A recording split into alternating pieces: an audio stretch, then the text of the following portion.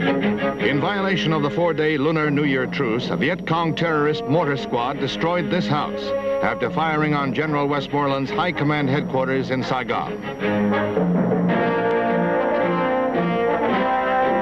The shells missed Westmoreland's office and fell in the middle of an Army convoy, killing at least eight soldiers.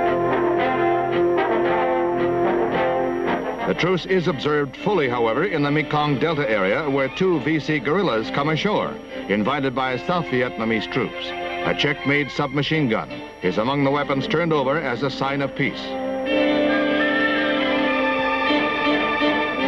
The Viet Cong guests, one a squad leader named Nguyen and the other a private, are treated to gifts of cigarettes in a show of friendship.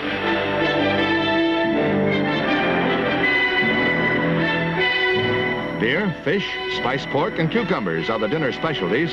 Enemies share the same table, but only briefly.